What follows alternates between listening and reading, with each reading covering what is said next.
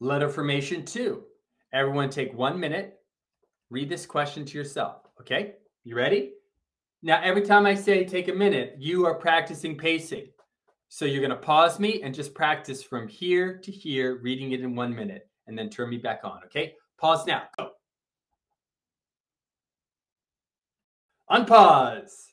You read it? It's a pretty basic question, right? And we think about it, just look at the linguistic complexity. It's about, it's one sentence.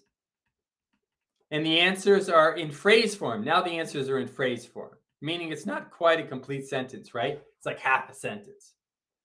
Okay, so this is an example of a, a very basic question. And it's it's from that 90 test. I get it. The questions here are a lot more basic than the newer questions. But we still get practice. We get we get they're going to give us in this one sentence scenario. They're going to give us a scenario, right? And if we can memorize that scenario and recognize it, you might have a scenario on the day of the test, a question that's much longer, right?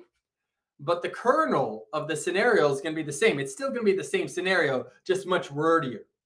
So whether it's a, a, a long question or a short question, the faster you're able to recognize the scenario and match up the concept, the better you're going to do. Now, in this one right here, says, I'm going to read it because it's so short. It says, having uh, kindergarten children practice tracing the letters of the alphabet in sand is most appropriate for children who are having difficulty. Let's think about that. First of all, we got kindergarten. Now, why is it print? Well, it's involving letters, the alphabet, right? And we have uh, tracing in sand. So we're not giving them tracing paper. This is a lot easier. Tracing something in sand, that would be much more manageable. Okay, so it's definitely, this is definitely a print activity, right? This is, this is a print. But this is also the tracing in sand piece. Let's think about the sand. Okay. Uh, we saw a picture of sand a little earlier. Let me go back to it right here. Tracing a letter in sand. Now, why would we have a child work on that? Practicing letters in sand.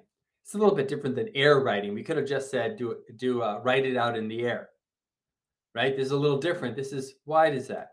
Well, that trace you have a it's it's it has uh, multiple senses, right? This has a kinesthetic element, that movement element, and a tactile element. Your finger is touching the sand, in addition to sight element. So you have those four things, those three things. Sight, you can see the letter. You can move your finger through the sand. Your finger feels the the the sand, reinforcing uh, reinforcing the movement that you're supposed to be making with your pencil? Okay, so this is a multisensory act, uh, letter formation activity, right? Let's go back to the question.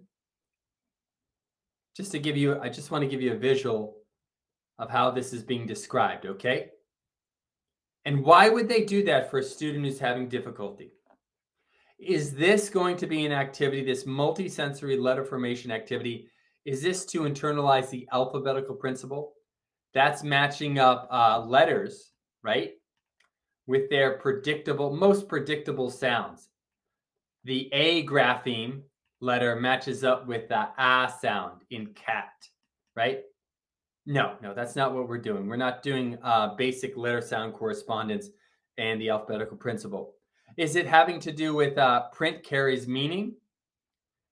Not really, right? Because they're just forming, you know, letters in sand. That that doesn't carry a whole lot of meaning, right? So no, it's not that either. How about this one right here? Uh, understanding the relationship between spoken and written language. That means that um, that uh, spoken language can be represented in writing. That's that's print awareness. That that is literally print awareness right there.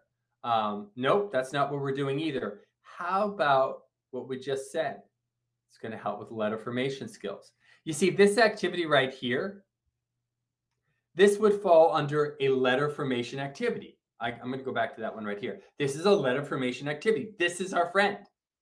If we have something involving forming letters, tracing your finger in the sand, right away you should be thinking, hey, my friend in this scenario, let me go back to that question. My friend in this scenario, right, it's not a rectangle rectangle person or triangle triangle face or or I don't know this this it's it's not this it's not this it's not this right? No. Uh, for uh, tracing letters in the alphabet out into sand you should be like letter formation. Who agrees? Right away you should train yourself tracing letters is a letter formation thing tracing things in the sand letter formation.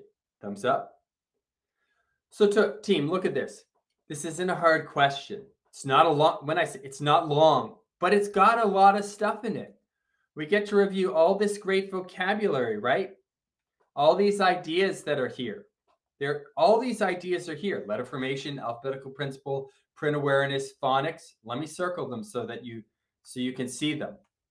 Okay. Here's the alphabetical principle. This is print awareness.